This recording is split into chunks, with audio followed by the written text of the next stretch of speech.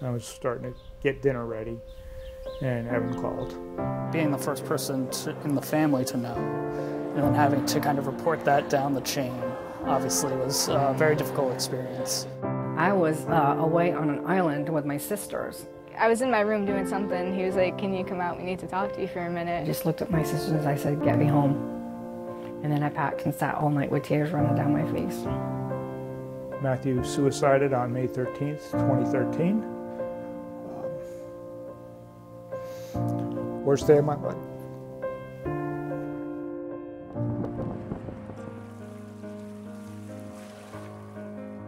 When he was a child, he was the happiest child in the family, always smiling.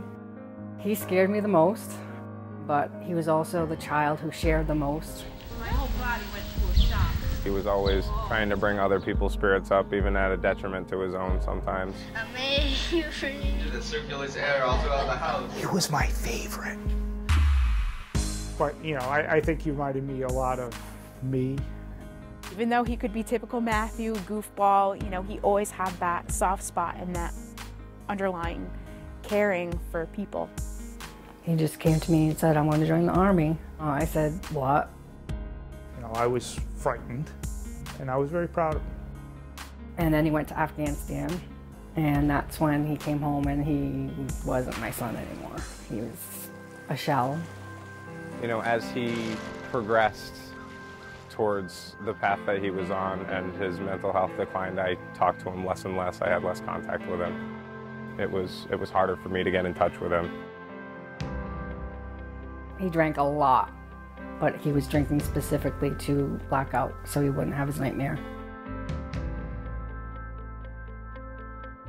One of the contributing factors in Matthew's case and, and cases till now is the stigma that's associated with depression and suicide. And if people felt like they could talk about it and accept it for what it is and to get the help that they need without feeling that they're going to be stigmatized, then perhaps there's hope for others. I actually don't really know what to say sometimes. if one person had just taken him to behavioral health, he could be here. If you have to intervene, do it. If you have to be the bigger person, if you have to show a heavy hand instead of a soft one, that's what you have to do to save somebody's life. You have to do it. Uh, if, you, if you if you really love them, if you want them to be around, that's what you'll do. Even if it's your best friend and they make you promise not to say anything to anybody, that you should say something anyway because it's better to have a best friend that's mad at you than to not have a best friend at all. That's a girl. I'm very proud of my son. I'd trade anything to have him back. It's your life. Don't let anyone tell you what to do with your life. You make those decisions yourself and you do what's best for yourself. And if you have a family, you do what's best for your family, and that means go for help. And it works. I'm living proof. Reach out, person listen, get them help.